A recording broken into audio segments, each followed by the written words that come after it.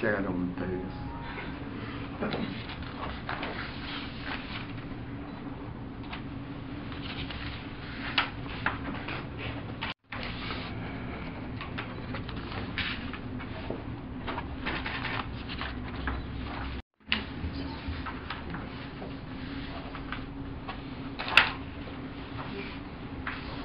ya el permiso para las obras de visitancia en Parque Centenario.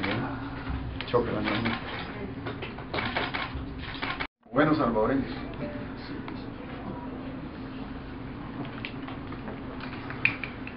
Justamente por eso es que, no obstante que hemos sido puntuales en el tipo de proyectos en los que hemos hecho una suerte de intercambio, también, eh, por lo menos de parte de obra pública, nosotros estamos enteramente abiertos, como hemos estado siempre con todos los gobiernos municipales, a hacer convenios abiertos, ¿verdad? que permitan de manera expedita encontrar acuerdos, trabajar bajo el principio de solución.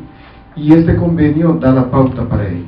La integración de la ciclovía construida por, eh, por obras públicas y el Parque del Bicentenario.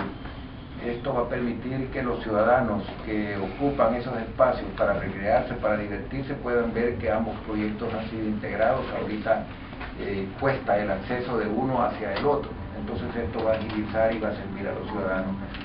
La zona de, del redondel José Antonio Rodríguez Por, que es un derecho de vía, eh, donde existía una cárcava que cuando la eliminamos, una cárcava y un botadero de basura, que cuando lo eliminamos vimos la ocasión de generar un espacio público y el cual pues es muy apreciado por los ciudadanos.